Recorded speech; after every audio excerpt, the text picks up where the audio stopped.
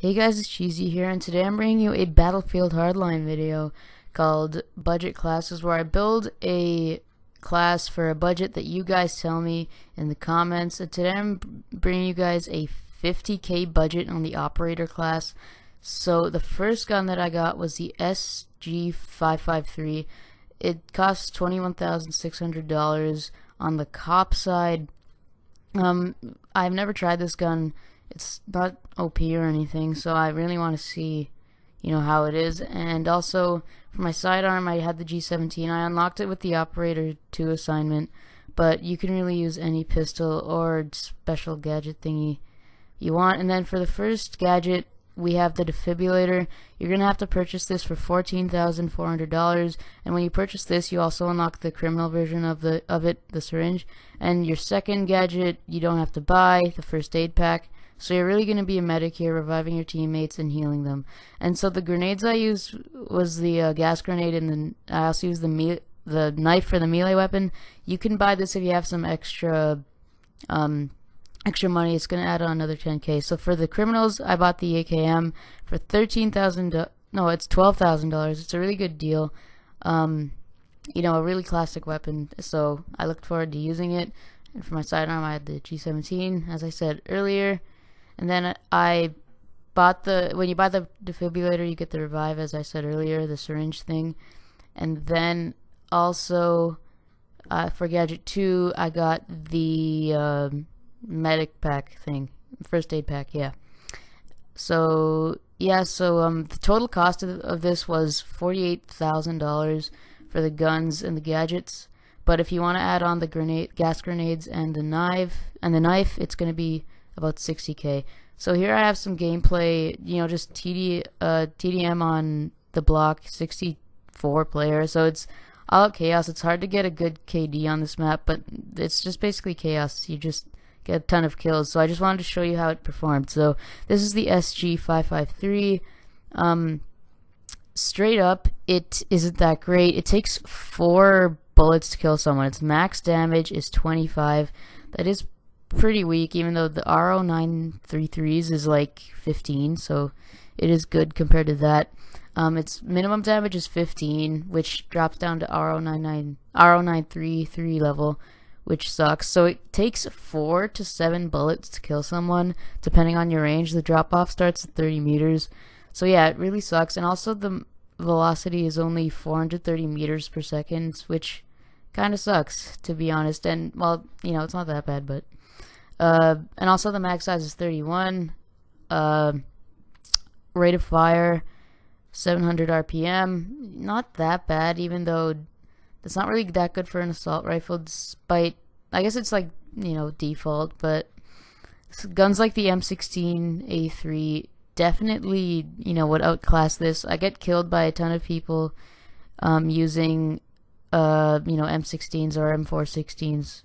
So, yeah, I guess I don't want to say if I'd recommend this yet because it is very good if you only have, um, very good if you only have 20k to spend and you really want something besides the RO933, which I really did. I want to just get any gun besides it. So, yeah, and also with the with your you don't really need uh your sidearm that much. There I got a really good uh like multi kill, but anyway, uh the revive and the med kit med kits are really useful. Like you can get a lot of points for them too. The longer you hold the defibrillator or the syringe up, the more points you get for the revive. Um, but sometimes when you revive someone, you get shot in the back, so you need to be wary of that. Um, and the med kits, you know, once I once like um I dropped them in my spawn, and I got like 500 points for healing because like anyone who's all my team was like spawning there. And because it's such a small map you usually stay in your spawn area and everyone was using it and healing it and healing it and healing yeah um healing with it. So i got a lot of points. And uh, so back to the sg553 the main thing that you're going to be using in this class. Um the reload is relatively you know it's uh two to three seconds uh, could be worse, could be better.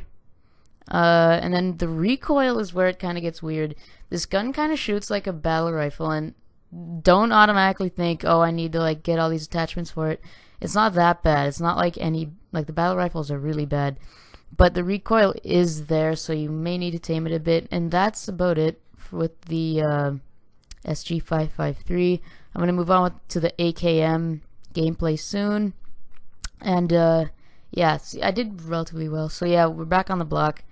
I kind of chose the same map and like stuff because a it's you know really good for showing the weapon and I didn't want to say I wanted to be, it to be the same like the same kind of thing uh, so that I couldn't say you know the map helped me or anything I just wanted to see how the gun alone did so yeah the AKM um its general stuff is its max damage is 36 minimum damage is 25 the drop off starts 30 meters just like the uh, SG553 uh, but it does a lot more damage. As you can see, 36. Um, it only takes three to four bullets to kill someone. Even at the even at 50 meters, it takes just four bullets to kill someone, which is really good. Almost battle rifle, uh, almost like a battle rifle.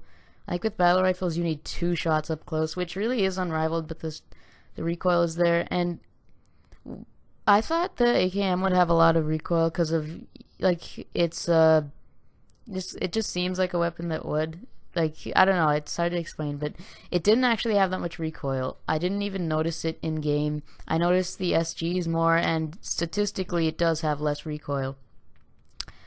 It has a lot of left recoil though. But anyway, yes. Yeah, so the fire rate of the AK-47 is AKM, excuse me, is 600 RPM, which is pretty good. It's only 100 less than the SG553, and you know that's that's really good for uh, AK-47 like gun. So yeah, it's it hits really hard, and if you can learn to control it, because I admit when I first had it, I was getting like two kills a game because I was shooting everywhere. But you need to learn to like be easy on the trigger and not shoot too much. So overall, the AKM is better. I wanted to play more games with it than I did with the S SG. Like I played like five games with the SG553, and only one of them did I like enjoy myself. So, in my opinion, save up your money and buy the M16A3 for the cop side, and then save money by getting the AKM on the criminal side. So I hope this helps, guys. If this does well, I'll do another video, and thanks for watching, and I'll see you later. Thank, uh, bye.